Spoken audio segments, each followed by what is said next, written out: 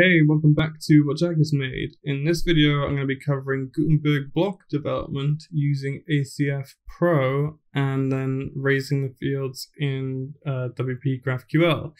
So this is a very advanced video. So if you don't understand all the concepts first, that's fine.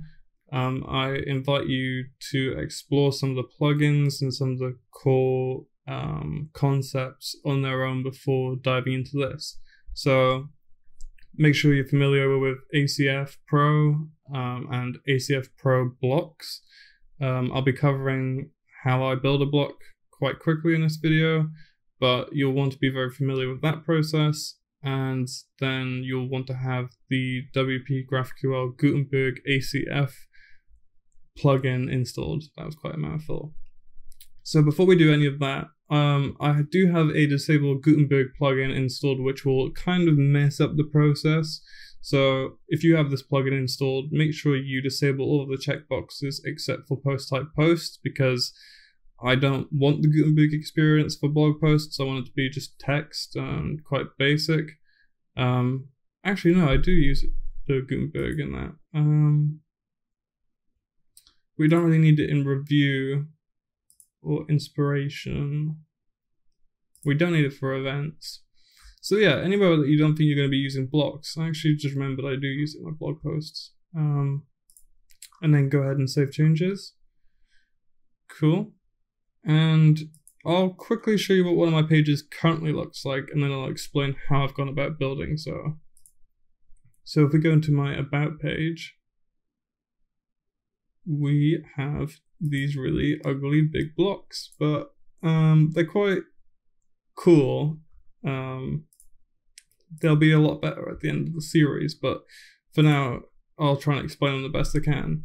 Um, this is an intro block, and an intro block has a subheading, a heading, and then HTML WYSIWYG content.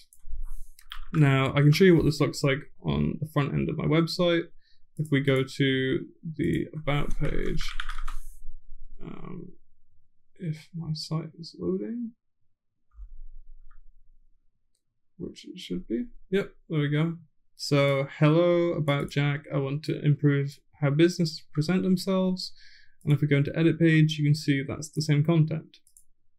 If we go to preview, there's nothing there, which is terrible editing experience, but I'll be explaining how to better this at the end of the series.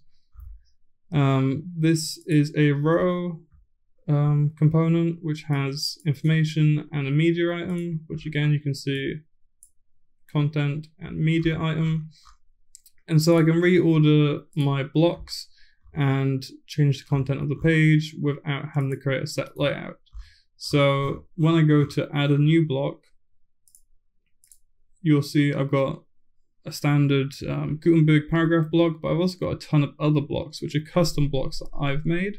So I've got testimonials, YouTube, presentations, and I'll show you how these are all set up in ACF. So within our field groups, you can see I've got a couple of new ACF field groups, all with the block um, semicolon sort of starting to the field name. And if we look at the intro block, which was a block I first demoed, you can see we have custom fields for subheading, heading, and content, which are text field, text field, and then a WYSIWYG editor. And then if you come down to the rules, you can see where we normally have post type equals post or event or case study, we can have if the block is equal to one of my registered custom posts, uh, custom blocks. And we can then surface these fields, which we'll do so in a minute, um, using the WP GraphQL uh, plugins.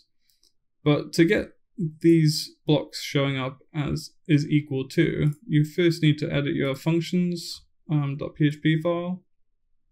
So I've gone ahead and created my own register blocks function, which takes a list of block names and then uh, dash icon um, names, which means the icon that shows up in the editor when you add the block and then I combine the two arrays and then iterate over them and register a block for each of the blocks found. So yeah, that's quite uh, that's basically the process. Um, and so if I wanted to add a new Dribbble block, I add in Dribbble, the icon, and then it'll loop over it and add it into my editor.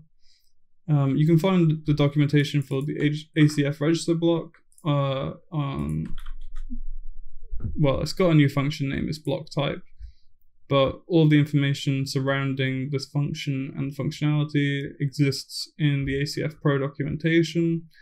I don't believe this is a free function, but it could be. Um, yeah, I'm not sure. You have to have a play around. But it's really cool because you can essentially build your own blocks without having to touch any React. I love React, but building a new block takes hell of a time. And using uh, ACF Pro just speeds up the whole process because you're building um, sort of like headless block. And then later on, you can build your own render template, which is a bonus video at the end of this course. Um, but yeah, so I could add in a new field and then it'll show up when I'm adding the block to the editor. Now, we do have the issue of if I go to GraphiQL and I go to my pages and look at all of the nodes, we look at the content and we should get back some sort of HTML content, but because my render templates are empty, we don't get back the information.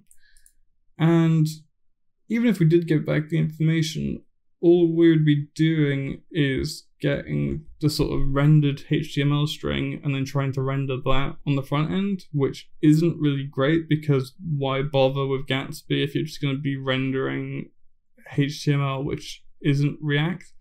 Um, that can seem I, I, I just realized that sounds quite elitist but what i'm trying to say is the benefit of having a cms which is headless is if we can get hold of all of the ingredients we can build the recipe how we want. We don't have to just build the html string. We can use some of the data attributes um, and build dynamic pages or dynamic components using react. That's the benefit of react.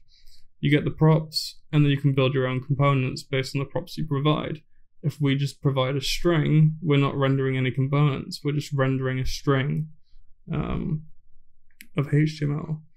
So if I go to our page nodes, you can see we've got access to blocks as well.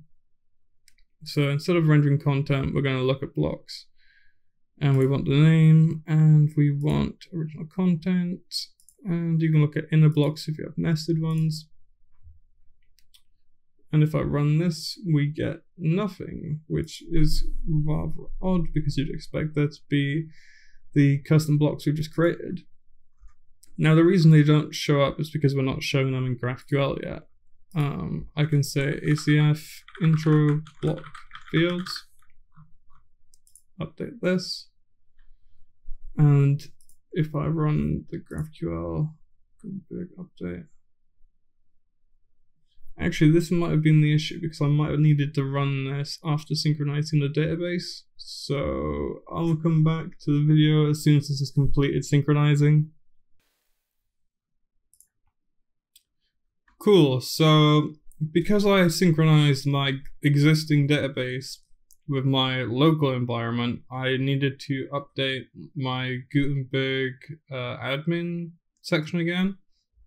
So by running update all posts which support editor, what the plugin did was go into each post or page and um, collect all of the uh, fields that need to be raised to the GraphQL schema.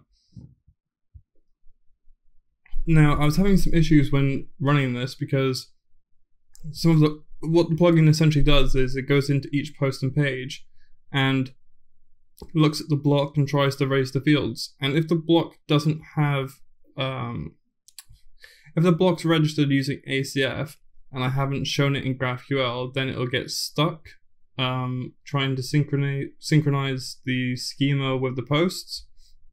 So I had to go through each block and show them in my schema. And I went through each of my custom field groups and just raised all of them and gave them names to show in the schema.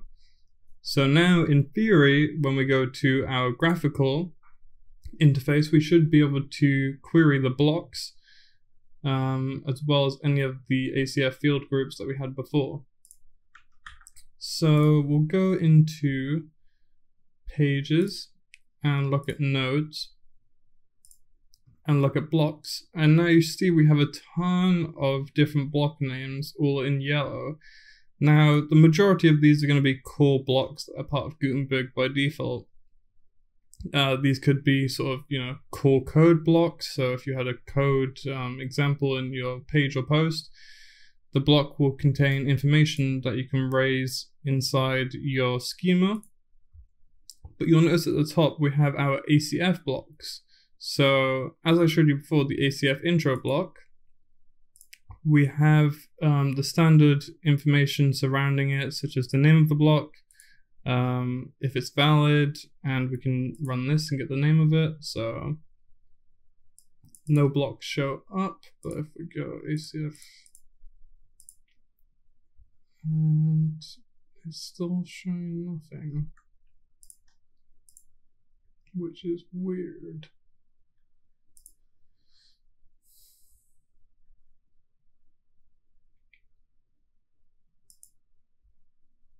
We got hero block. If we update that, yeah, we got an intro block right there, so it should be showing up. Okay, cool. Okay, that was kind of weird.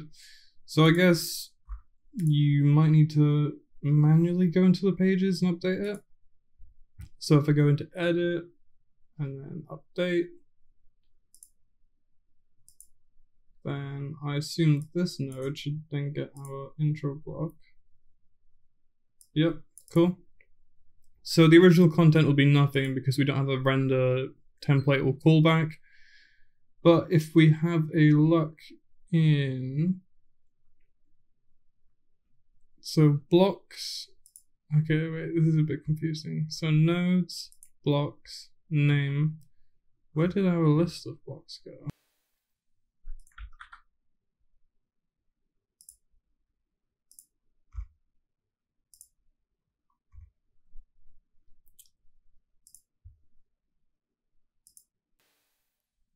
Ah, okay. So now that I've updated the pages, uh, you can see when I run my query, we are getting returned the block array. And if the block is an intro block, we are querying the name of the block and the ACF fields associated with the block. All of the empty objects in the response payload are other blocks, but they aren't intro blocks. So this is great for conditional logic and bringing back information, but we want the name of every block. We don't want it just on the intro block. So we can move this outside of um, the conditional. And so now we have ACF intro, ACF rows. You can see the rest of the page is made up of rows. But then we have hero blocks, testimonials, and other YouTube ones and um, other social networks for the homepage.